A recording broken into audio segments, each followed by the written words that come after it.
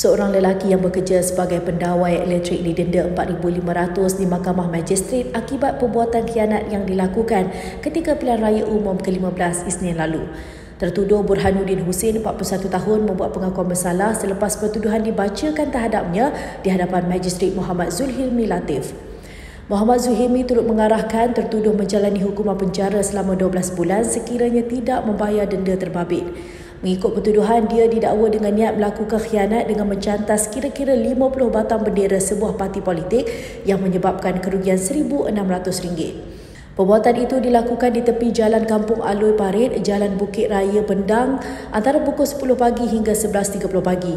Bagi kesalahan itu, tertuduh didakwa mengikut Seksyen 427 Kanun Kesesaan yang memperuntukkan hukuman penjara tidak kurang setahun dan tidak lebih lima tahun atau denda atau kedua-duanya sekali. Terdahulu, Peguam Yayasan Bantuan Guaman Kebangsaan Siti Sabirah Ramli yang mewakili tertuduh memohon mahkamah menjatuhi hukuman ringan memandangkan tertuduh seorang duda yang perlu menyara seorang anak berusia 17 tahun dan ibunya berusia 77 tahun.